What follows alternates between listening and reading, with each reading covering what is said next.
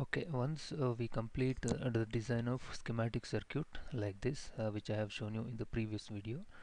Uh, the next step is to create the symbol for the same schematic circuit. So that is the next step in in the video is this. So the uh, with respect to analog design flow after schematic capture we have to create the symbol. Then we have to go for simulation right? So we will do that. So how to do that is so first uh, go to create. In the create you have to go to cell view. In the cell view from cell view you have to select. Okay? In the create cell view from cell view. Click on that. So let it be the same. Library name will be same. Cell name also should be same. It should not be changed because for the same circuit you are generating the symbol for that reason. So then from view schematic to view symbol we are going right? So if you click ok fine. So you will get a symbol generation option. So here it will ask you so in the symbol so the pins how you want to place the pins. So because see in the in this uh, circuit itself so have V in in the left uh, VDD on the top and V out on the right and VSS on the bottom likewise it is asking in the in the symbol. So how you want uh, the pins should be connected. Fine for that. So you can uh, customize the pins uh, in the symbol.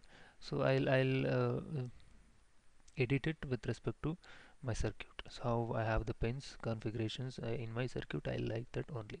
So I like that means I want VDD so I'll just uh, cut and paste it.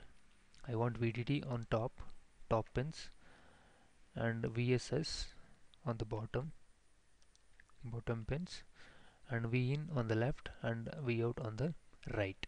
And this is the pin configuration. You can customize it as you want in the symbol. So this will help you uh, to uh, make use uh, you know uh, optimized connections. So without you know crossing any metals or like that or any lines.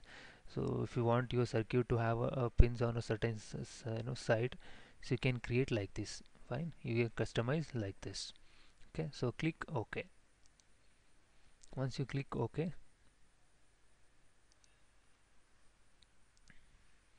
so the symbol has been generated like this. Fine. So this is a, a, a symbol a normal symbol. Okay. So you can customize this you know symbol also as you want uh, on your circuit. So because here we are you know creating uh, the inverter but inverter structure st symbol is not like this. So it's a rectangular form is now. So but inverter form is not like this. Fine. So the inverter is basically you have a you know, a you know triangle shape on a bubble on the uh, front right? Usually you have a, a inverter symbol like that right? So you can customize or you can edit the symbol like that only. Fine. So in this symbol see this is the symbol of my circuit fine. So inside this symbol I have the schematic circuits that I have created right? Then this the outer red line shows the this is this outer red line is the border fine. That means so any component that you're going to connect to this symbol in future that component should not cross this line or cross this border fine. That is the meaning of this if you even connect by crossing this border it will give you the errors or connection errors. Fine. That should not be there. Okay? So that is what it is all about. Okay. So you can edit it. So by just you know uh, deleting this. So just select and delete. So to delete like this. So then you can go to create. Select shape. In the shape you can select the line. Fine. So line you can draw. Line you can draw like this.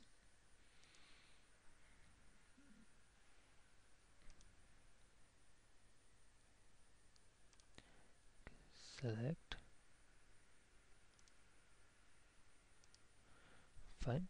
So this is the inverter with uh, I need a bubble in the front I'll place the bubble. Just select the bubble and just drag it. To place the bubble. Fine. Now it looks like a an inverter symbol.